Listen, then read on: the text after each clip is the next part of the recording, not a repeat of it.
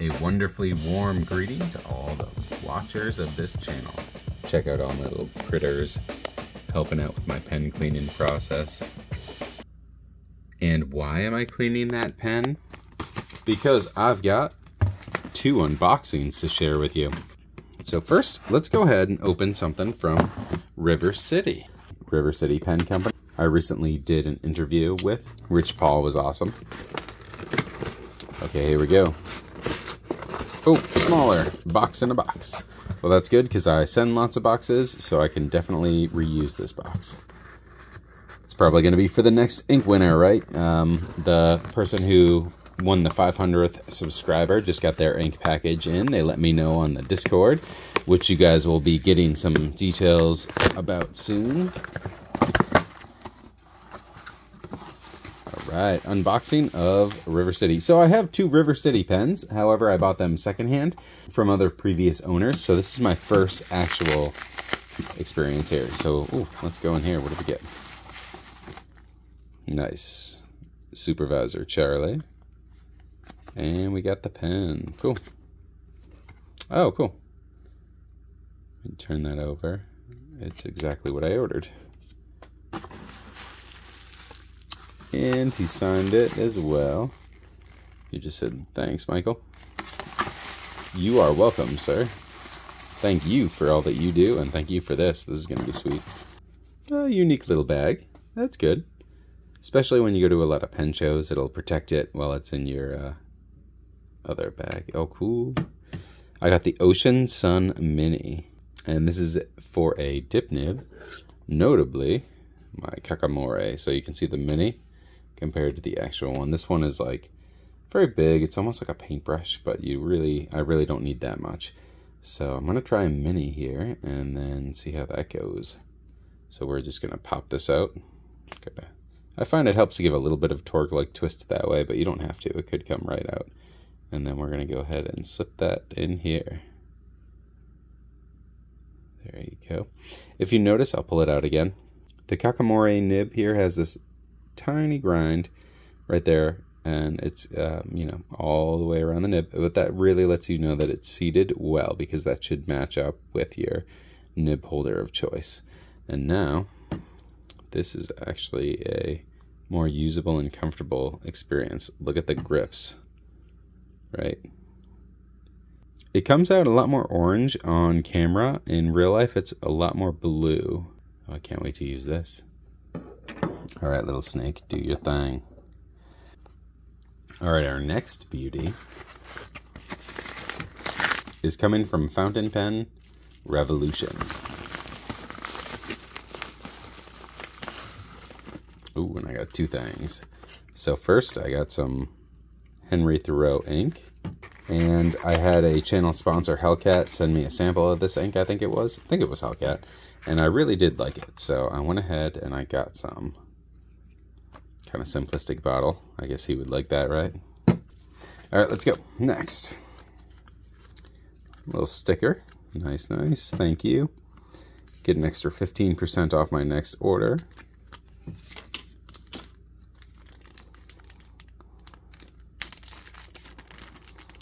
And here you go. This is my new nib. This is a gold full flex nib.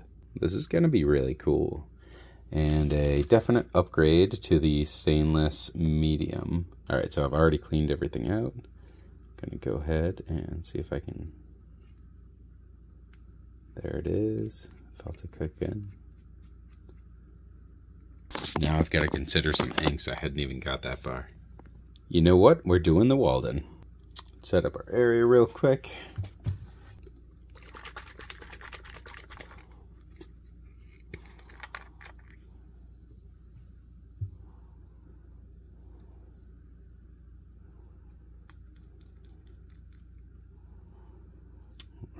get a good nice fill there. We are going to cap up our Walden. And then go ahead and clean our nib before use. And it doesn't hurt if you do want to go ahead and put the body on for this part so you're not you want to make sure that you're not like torquing the converter around while you do this process there we go cool now just got to get the nib itself. That is no presentation for a beautiful nib. When you do this just try not to go down that center line. This one's extra long because it's a flex. Oh see I did and it just immediately sucked up ink so make sure you're, you're not going over that center line. And also you don't want to touch the feed. If you touch that feed down below, it's you're going to start sucking up ink. So just like very gentle strokes down and away from that feed line should get you a nice pretty nib. All right, let's try this. I can't wait. It is really cool that he is engraving his nibs now. That is really cool. RT. It's a nice medium. I'll use that at some point this modern flex nib that is a gold nib from FPR pens. And this down here is the MAG 600. I uh, could tell because I, I have a shimmer ink in this and I would never put a shimmer in my vintages. And I haven't used the 743 in a while. So this is definitely the MAG 600. Here we go. So this one, a line there. Yep, we're flowing well. So this one isn't, that's nice.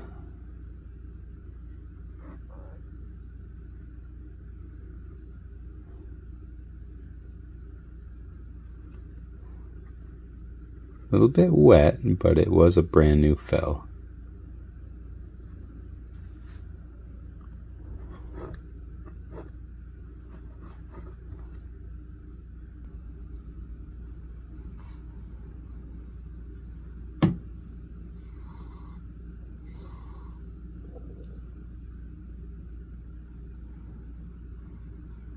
It's got a good flex. It's almost a little too wet. So it is a very wet, wet noodle, as they say, right? But it is a very noticeable flex, even in comparison to the uh, the Mag 600. The actual slit of the tines goes all the way back to about here. So this actually splits the tines into almost double the length.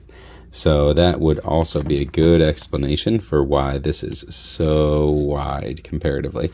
But look at this. I'm, as I've been talking, um, I'll, I'll, probably edit some of this out, but it's been at least 20 seconds and this is still drying on the Superflex parts. So this is definitely a wet noodle as that were. So if you're looking for something that is uh, quick drying, this one might not be the nib for you. So it is not quick dry when that is a beautiful flex though. I might try this with a drier ink or a uh, ink with some different properties to kind of slow it down there. All right, so I'm not even going to wait. Uh, it's already been about 45 seconds up to a minute and it's still nowhere close to dry. This, my like I said, my original strokes here, they're still not even dry. So this is going to take forever to dry. But that might mean that it's good for, let me see up here, letter openings maybe?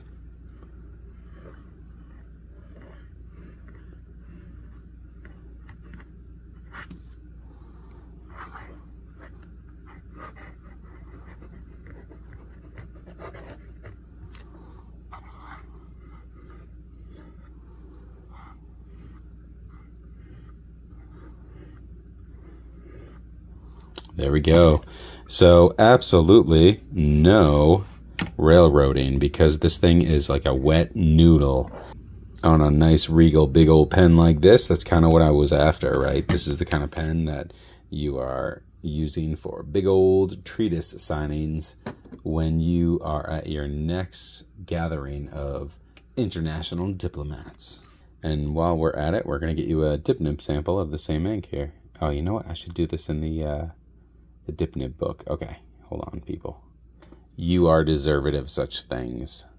I'm gonna use my. oh shit! Uh, Fraggle Rock. Oh, this is bad, people. This is bad. Goodness. This is not going well for me. But on the upside, my desk has this awesome new sheen and if you look down here, at least it's water-based. So if you just keep dumping water and soaking, you will be okay. And that's what we do, my friends. Wow, first time for everything, right? Ah, don't blot it too much. Look at that. Ah.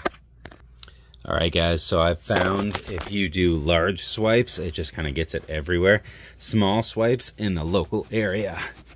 It's what you really need to do to get these out. And lots of water. This is water-based ink, so this will come out if I spend the time. Then I gotta clean the escritoire too, but it's another story. We're coming along nicely.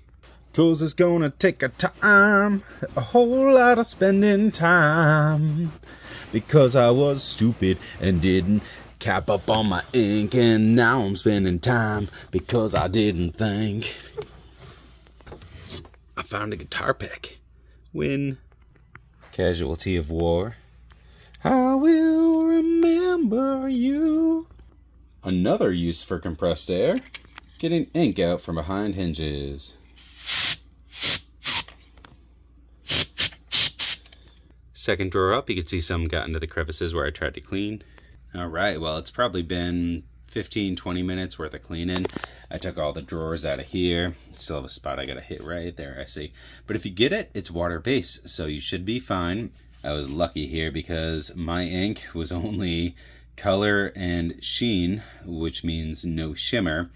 If I did have shimmer, this would probably look like a crime scene of a strip club. So luckily for me, no shimmer to uh, get glittery parts everywhere. Desk cleaned well enough. What I will say is areas that weren't recently well uh, oiled with Old English, they did absorb some color. So like here and here. I will let you know though if I Old English, if that'll kind of come out too. Otherwise, this part, pretty much immaculate now that I've cleaned it. The rug, pretty much immaculate now that I've cleaned it. Luckily, no shimmer, and let's get back into the thick of it. Let's look. Yeah, I can feel the bottle's about there. It's I spilled about three quarters of the bottle, so that really sucks. Not only that, but if I spilled that much, I'm gonna have a difficult time getting a fill. Also, I can guarantee you my wife is gonna make a joke about me having a date with Smurfette tonight. But just like those people who deliver our letters, right? Uh, what do they say? Rain nor snow nor sleet. Nothing can stop us pretty much. And that's where we're at right now, guys. I'm going to get you that dip nib sample if it's the last thing I do. Dip nib book. This is why stickers are cool. You differentiate all these little millions of notebooks. Oh, here we go. Shooting Star, Ruby Blue, River of Fire. Another one or two. Oh, what do we have here? Wearingeul Hades. That one actually has a, a nice blue shimmer to it. But anyway, I'm getting back to the wall then. Good God, this this is the ink that got me, guys.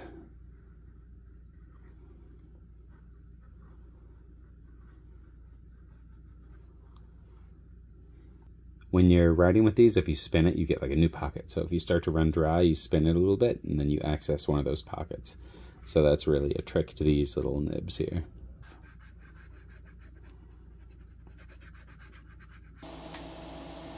Now you can see that awesome sheen that comes with the Walden. It's a wonderful teal with a nice red sheen.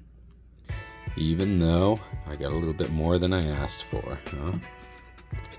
This nib holder did work excellently though and it is quite gorgeous. Definitely an upgrade. All right, well, thank you for coming along with this disastrously crazy journey.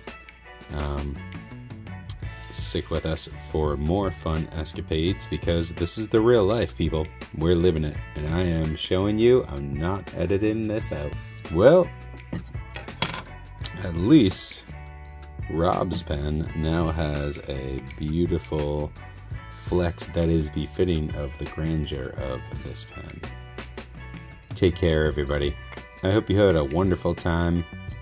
Please follow some basic instructions, such as capping your ink as soon as you can. Until next time, this has been Zen of the Pen, signing off. My wife's definitely going to ask about Smurfette.